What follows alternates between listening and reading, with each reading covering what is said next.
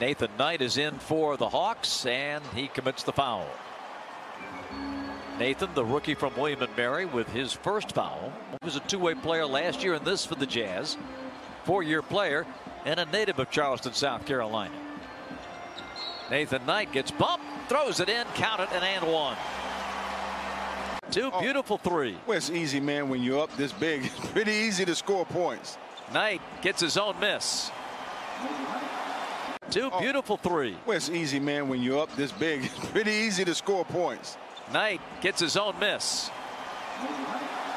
Two Oh. beautiful three. Well, it's easy, man. When you're up this big, it's pretty easy to score points. Knight gets his own miss.